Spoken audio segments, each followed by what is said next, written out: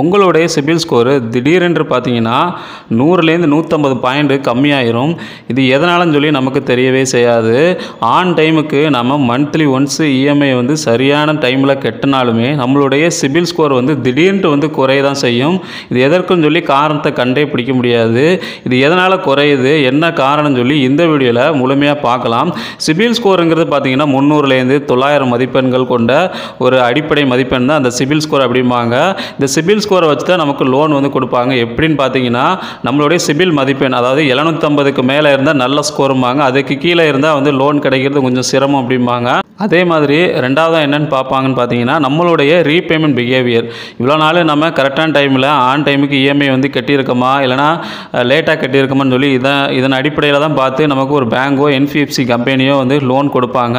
இதன் அடிப்படையில் தான் வந்து நமக்கு லோன் கொடுக்கலாமா வேணாமான்னு சொல்லிட்டு எல்லா கம்பெனியும் வந்து யோசித்து நமக்கு லோன் கொடுப்பாங்க. அது- இப்படி நாம் ஆன் டைமுக்கு இஎம்ஐ கட்டியும் நம்மளுடைய கிரெடிட் மதிப்பெண்கள் வந்து திடீரென்று வந்து குறை தான் செய்யும். இது எதனாலன்னு சொல்லி கண்டே பிடிக்க முடியாது.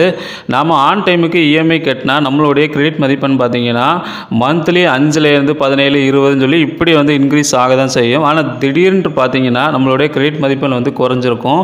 இது எதனாலன்னு பார்த்தீங்கன்னா நம்ம ஒரு லோன் எடுத்துகிட்டு அதை மந்த்லி வந்து இஎம்ஐ வந்து சரியான முறைப்படி வந்து கட்டிட்டு தான் இருப்போம் ஆன் டைமுக்கு ஆனால் ஒரு லோன் போயிட்டே இருக்கும். அடுத்த லோன் வந்து அப்ளை பண்ணுவோம். அப்படி அப்ளை பண்ணும்போது நம்மளுடைய கிரெடிட் ஸ்கோரு நாற்பதுலேருந்து ஐம்பது பாயிண்ட்ஸ் வந்து கம்மியாகும்.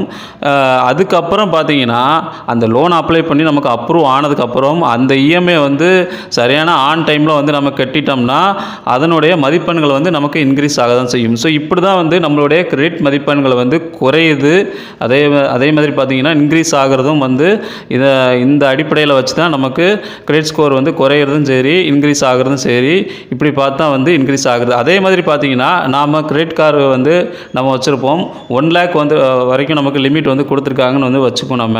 ஒன் லேக் வரைக்கும் நீங்கள் யூஸ் பண்ணிட்டா கூட உங்களுடைய கிரெடிட் மதிப்பெண்களை வந்து குறைய தான் செய்யும். ஏன்னா ஃபுல்லாக வந்து யூஸ் பண்ணக்கூடாது. ஒரு கிரெடிட் கார்டை வந்து நீங்கள் யூஸ் பண்ணும்போது அப்படி யூஸ் பண்ணுற பட்சத்தில் உங்களுடைய கிரெடிட் மதிப்பெண் வந்து நாற்பதுலேருந்து ஐம்பது பாயிண்ட்ஸ் வந்து கம்மியாகும். அதே மாதிரி பார்த்தீங்கன்னா உங்களுடைய ரிலேஷன் உங்கள் வீட்டில் உள்ளவங்க ஃப்ரெண்ட்ஸ் யாருக்காவது வந்து நீங்கள் ஒரு நாமினி மாதிரி அவங்களுக்கு லோன் வந்து லோனில் லோன் அப்ளை பண்ணும்போது அவங்க லோன் அப்ளை பண்ணுறாங்க அதில் வந்து நீங்கள் ஒரு நாமினியாக வந்து சேரும்போது உங்களுக்கும் சொல்லி அந்த கிரெடிட் மதிப்பெண் வந்து வரதான் செய்யும். உங்களுடைய சிபில் ஸ்கோர்லேயே வந்து அதை காட்ட தான் செய்யும். அந்த லோன் வந்து அவங்க எப்படி எப்போல்லாம் வந்து கட்டுறாங்களோ அதையும் வந்து காட்ட தான் செய்யும். அதே மாதிரி உங்கள் ஃப்ரெண்ட்ஸ் யாருக்காவது நீங்கள் லோனுக்கு நாமினியாக வந்து கையெழுத்து போடும்போது கூட உங்களுடைய கிரெடிட் மதிப்பெண்களை வந்து குறையதான் செய்யும் இது எதனால் குறையுதுன்னு பார்த்தீங்கன்னா அவங்க ஆன் டைமுக்கு இஎம்ஐ வந்து கட்டாமல் போனாலோ உங்களுக்கு உங்களுடைய சிபில் ஸ்கோர் மதிப்பெண்களை வந்து குறைய தான் செய்யும். அதே மாதிரி பார்த்தீங்கன்னா ஐடென்டிட்டி தப்ட்டு உங்களுடைய பேன் கார்டை வேறு யாராவது மூன்றாம் நபர் வந்து யூஸ் பண்ணி லோன் வந்து அப்ளை பண்ணி அதை ரிஜெக்ட் ஆனாலோ உங்களுடைய சிபில் ஸ்கோர் வந்து கம்மியாக தான் செய்யும். இந்த மாதிரி காரணங்களால் தான் உங்களுடைய சிபில் ஸ்கோரு திடீரென்று வந்து குறைய தான் செய்யுது. இந்த இதில் ஏதாவது ஒரு காரணத்தினால தான் உங்களுடைய சிபில் மதிப்பெண் வந்து குறையும். இதை நீங்கள் கண்டுபிடிச்சி உங்களுடைய சிபில் மதிப்பெண்ணை வந்து எதனால் குறையுதுன்னு சொல்லி நீங்கள் கண்டுபிடிச்சி செக் பண்ணிக்கோங்க. என்னுடைய சிபில் ஸ்கோர் வந்து எதனால் குறையுது அப்படின்ட்டு.